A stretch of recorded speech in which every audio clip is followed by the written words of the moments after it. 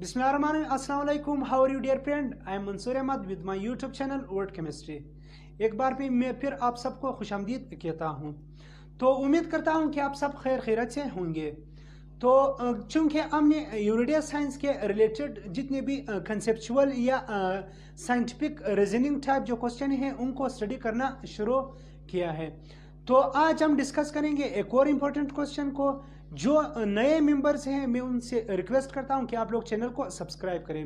اور جو previous question میں نے شیئر کیے ہیں ایوری ڈے سائنس کا، ان کا لنکس جو ہے، آپ لوگ ڈسکرپشن باکس سے حاصل کر سکتے ہیں۔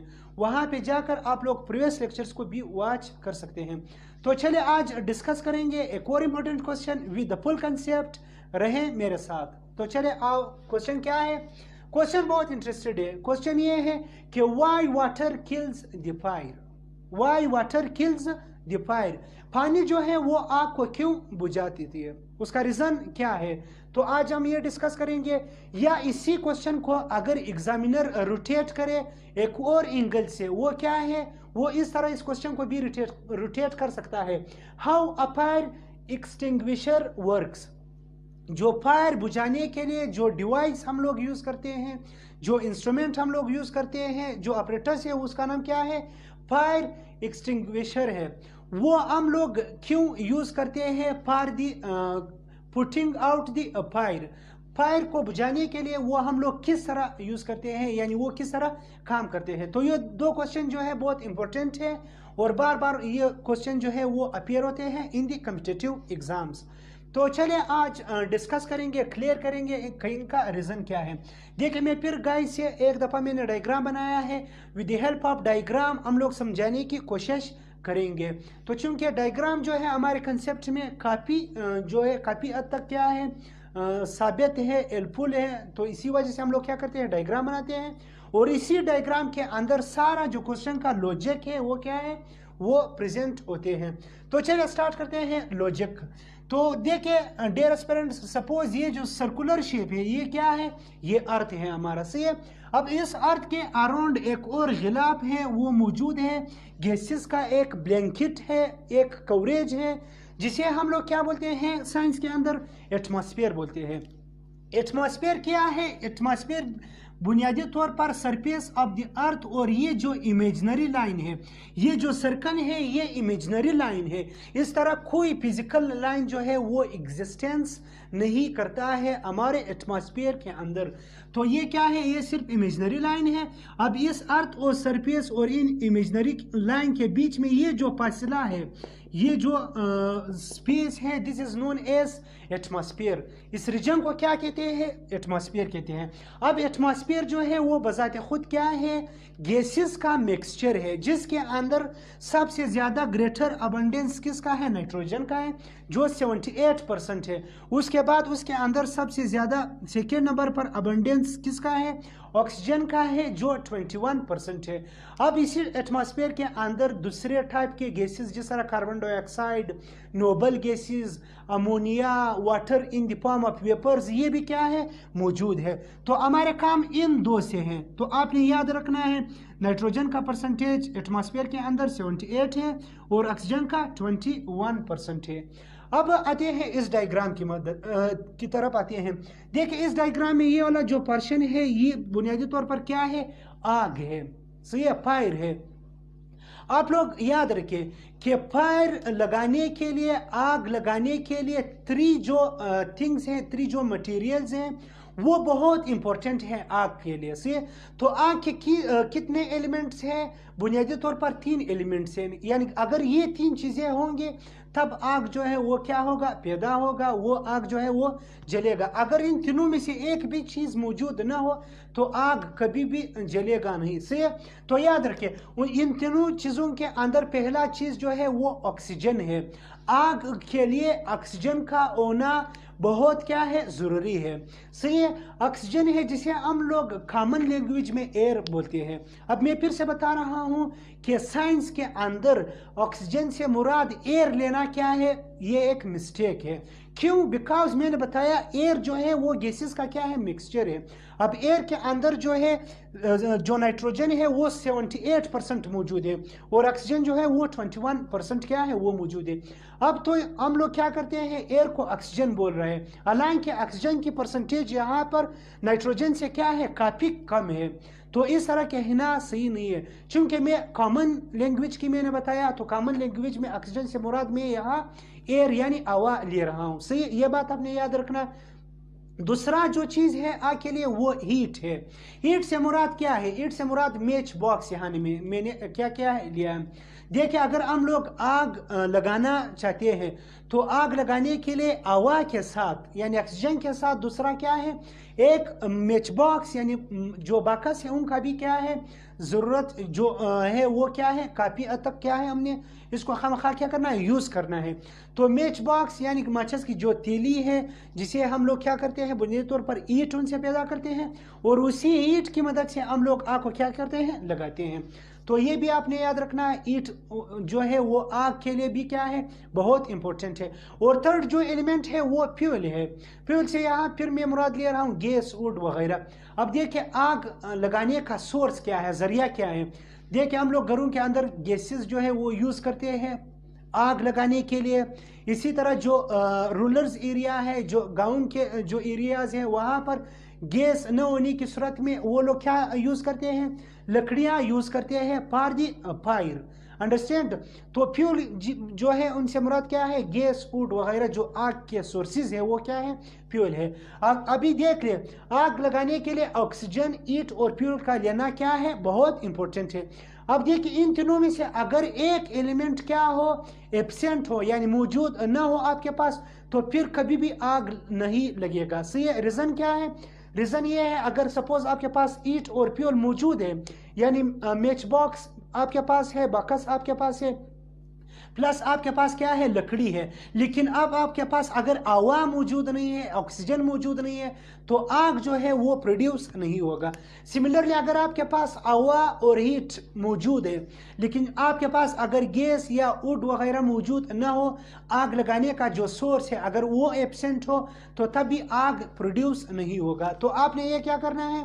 یاد رکھنا ہے. یہ آگ کے کیا ہے؟ ایلیمنٹس ہے. سی انڈرسٹینڈ اب بنیادی طور پر ہم لوگ کیا کرتے ہیں؟ جو آگ ہے، وہ پانی کی مدد سے کیا کرتے ہیں؟ یا یہاں پہ کوشچن یہ ہے کہ پانی جو ہے، وہ آگ کو کیوں بجھا دیتی ہے؟ اس کا ریزن کیا ہے؟ اس کا ریزن یہ ہے کہ میں نے بتایا، آگ کے لیے یہ جو تین کیا ہے؟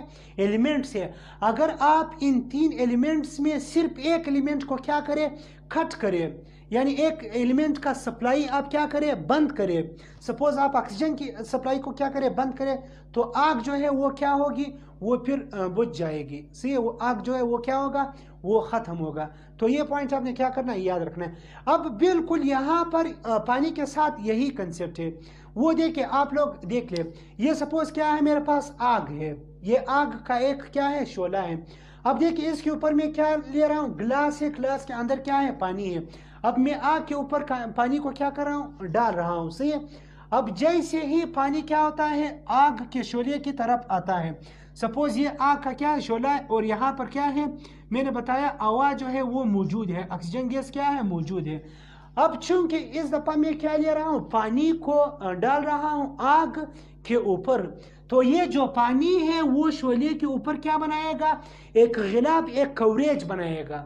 یہ پوائنٹ کیا کرنا ہے؟ آپ نے یاد رکھنا۔ ہے چونکہ یہ یہاں پر کیا بنائے گا؟ اب کوریج بنائے گا غلاب بنائے گا۔ اس آگ شولے کے آرونڈ کیا ہوگا؟ ایک کور بنائے گا۔ تو اسی وجہ سے جب پانی یہاں پہ جو میں نے بلیک ڈاؤٹ سے کیا کیا، جو ریپرزینٹ کیا ہے، یہ کیا ہے؟ پانی ہے۔ اور یہ جو سمال بلو ڈاؤٹس ہے، یہ آکسیجن ہے۔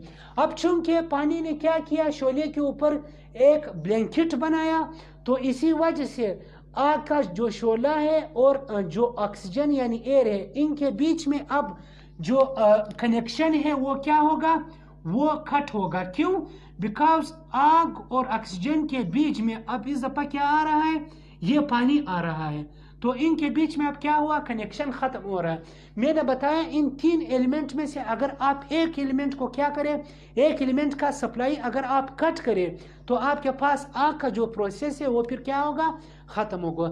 تو بالکل پانی جو ہے، وہ کیا کرتا ہے؟ ایک بلینکٹ بناتا ہے شعلے کے اوپر۔ یعنی آگ اور آکسیجن کے بیچ میں جو کنیکشن ہے، جو رابطہ ہے، ان کو کیا کرتا ہے؟ ختم کرتا ہے۔ تو اسی وجہ سے آگ جو ہے، وہ کیا ہوتا ہے؟ بجھ جاتی ہے۔ آگ جو ہے وہ کیا ہوتا ہے؟ ختم ہو جاتا ہے۔ تو یہ اس کا کیا ہے؟ سمپل سائنٹیفک ریزن ہے۔ انڈرسٹینڈ اب آتے ہیں ایک اور کنسیپٹ کی طرف۔ صحیح ہے؟ اب آپ لوگ یہ کوشچن کر سکتے ہیں صحیح ہے؟ کہ یہاں پر یہ جو میں نے بات کی ہے آکسیجن کی دیکھیں آگ کے لیے آکسیجن کا ہونا کیا ہے؟ ضروری ہے۔ اب دیکھیں ایک تو آگ کے لیے آکسیجن کا ہونا ضروری ہے۔ دوسرا جو لیونگ ارگنزم ہے، جو زیادہ، جتنے بھی زیادہ، زندہ اجسام ہے ان کے لیے آکسیجن کا ہونا کیا ہے؟ بہت ضروری ہے۔ اب شاید آپ کے مائنڈ میں یہ کوشچن آ رہا ہوگا کہ ہمارے لیے آکسیجن جو ہے وہ بہت کیا ہے؟ امپورٹنٹ ہے۔ ہمارے زندہ رہنے کے لیے اور ہمارے ایون تک جو زندگی کی ایک ضروریات ہے وہ آگ۔ آگ کیا ہے؟ ہماری ایک ضروریات ہے زندگی کے اندر۔ اب آپ جو آگ ہے، ان کے اندر بھی آکسیجن کا ایک رول کیا ہے؟ وہ بھی بہت امپورٹنٹ ہے۔ یعنی اگر آکسیجن نہیں ہوگا تو آپ کا آگ موجود نہیں ہوگا۔ انڈرسٹینڈ تو ابھی قدرت نے، اللہ پاک نے ایٹماسفیئر کے اندر آکسیجن کا پرسنٹیج 21 پرسنٹ کیوں رکھا ہے؟ یہ اتنا امپورٹنٹ ہے، اتنا یوزفل ہے for the living organism even though میں نے بتایا کہ آپ کا فائر آگ جو ہے، وہ کیا ہے؟ اگر آکسیجن نہیں ہوگا تو یہ آپ کا فائر نہیں ہوگا۔ تو پھر اللہ پاک نے ایٹماسفیئر کے اندر نائٹروجن کی پرسنٹیج سیونٹی ایٹ پرسنٹ کیوں رکھا ہے؟ حالانکہ ہمارے لیے یوزفل آکسیجن ہے۔ اب ہونا تو یہ چاہیے کہ آکسیجن کا جو پرسنٹیج ہے وہ گریٹر ہونا چاہیے یعنی سیونٹی ایٹ ہونا چاہیے، کیونکہ ان کا ہماری زندگی کے اندر ڈیلی لائف کے اندر ان کا استعمال بہت زیادہ ہے۔ اور جو نائٹروجن ہے، ان کا کوئی خاص جو ایٹماسفیئر کے اندر ہے، اگر بظاہر ہم لوگ دیکھ لیں، کوئی خاص رول نہیں ہے نائٹروجن کا۔ وہ پھر اتنا کیوں زیادہ ہے؟ میں پھر سے بتا رہا ہوں دیکھ کہ ہر چیز میں اللہ پاک کا ایک حکمت ہے، ایک پوشیدہ راز جو ہے، ایک راز جو ہے، وہ کیا ہے؟ چھپا ہوا ہوتا ہے۔ انڈرسٹینڈ اس کا ریزن سن لے کہ آکسیجن جو ہے، وہ کیوں 21 پرسنٹ میں ہے اور نائٹروجن جو ہے، وہ 78 پرسنٹ میں ہے۔ لسن ایٹس کا جو سائنٹیفک ریزن ہے، اس کو کیا کرے؟ لسن کرے۔ دیکھیں ڈیئرس پیرنٹس، یہ میرے پاس جو نائٹروجن ہے، یہ بنیادی طور پر کیا کرتا ہے؟ یہ اسی آگ کے اوپر کو کیا کرتا ہے؟ جو جلنے کا جو پروسیس ہے، جسے سائنس کے اندر کمبسشن کہلاتا ہے۔ کمبسشن سے مراد کیا ہے؟ یہ جو جلنے کا پروسیس ہے، آگ لگنے کا جو پروسیس ہے دس از کالڈ کمبسشن اب کمبسشن کو کنٹرول کرنے کے لیے اللہ پاک نے کیا کیا ہے؟ نائٹروجن کا گریٹر اماؤنٹ جو ہے، وہ کیا کیا ہے؟ ایٹماسفیئر کے اندر پیدا کیا ہے۔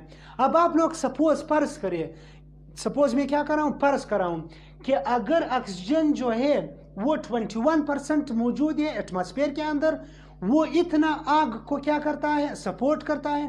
اب سپوز اگر آپ کا کائنات جو ہے ایٹماسفیئر جو ہے، وہ 21 کے بجائے 78 پرسنٹ ہوتا، تو معمولی ایک مچھس کی تیلی سے کیا پورے ایٹماسفیئر پوری دنیا کو، پوری ورلڈ کو آگ نہیں لگتا تھا؟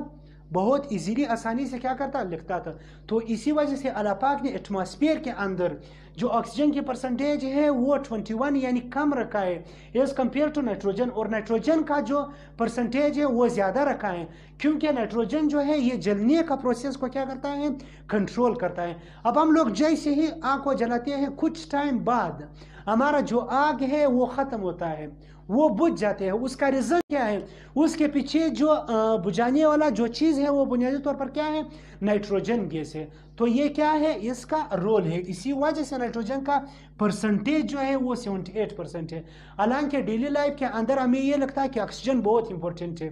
آکسیجن ایپسلوٹلی بغیر شک شعبے کے آکسیجن امپورٹنٹ ہے، لیکن نائٹروجن بھی کیا ہے؟ بہت امپورٹنٹ ہے۔ تو اس کا مطلب یہ ہے کہ کائنات کے اندر ہر چیز کیا ہے؟ امپورٹنٹ ہے یوزفل ہے۔ ہر چیز کا اپنا ایک جواب ہے۔ اگر ہم اس کے اوپر کیا کریں؟ ریسرچ کریں۔ تو آتے ہیں دوسرے پارشن کی طرف۔ اے پارشن تو ہوا clear how fire extinguisher works ایک فائر ایکسٹنگویشر کی طرح کام کرتا ہے۔ وہ بالکل اسی پروسیس کے تحت کام کرتا ہے۔ فرق صرف اتنا ہے کہ یہاں پہ واٹر کے کیس میں ہم لوگوں نے کیا کیا؟ واٹر یوز کیا۔ واٹر کو کیا کرتے ہیں؟ یوز کرتے ہیں۔ اب جو فائر ایکسٹنگویشر ہے، اس کے اندر جو ہے موسٹلی اکثر ٹائم جو ہے compressed carbon dioxide gas جو ہے، وہ کیا ہوتا ہے؟ یوز ہوتا ہے۔ سی تو جیسے ہی فائر جو ہے وہ لگتا ہے، تو فائر جو ایکسٹنگویشر ہے، وہ فوراً اس کے اوپر کمپریسڈ کاربن ڈائی آکسائڈ کا کیا کرتا ہے؟ سپرے کرتا ہے۔ اب سپوز یہ دیکھ کہ یہاں پہ میں نے جو بلو ظاہر کیا ہے، یہ سپرے ہے۔ کس کا؟ Compress compressed carbon dioxide gas کا۔ اور یہ آپ کے پاس کیا ہے؟ آگ کا شولہ ہے۔ اور یہ جو بلیک ڈاؤٹڈ ہے، یہ آکسیجن ہے۔ تو جیسے آگ کے اوپر ہم کمپریسڈ کاربن ڈائی آکسائڈ کا سپرے کرتے ہیں، تو چونکہ کاربن ڈائی آکسائڈ کا ویٹ وہ کیا ہے؟ ڈینسر ہے۔ ان کا جو ڈینسٹی ہے وہ زیادہ ہے۔ کاربن ڈائی آکسائڈ کا ایز کمپیئر ٹو آکسیجن تو کاربن ڈائی آکسائڈ جو ہے وہ آگ کی طرف کیا ہوتا ہے؟ چلے جاتے ہیں اور وہاں پہ آگ کے اوپر کیا ہوتا ہے؟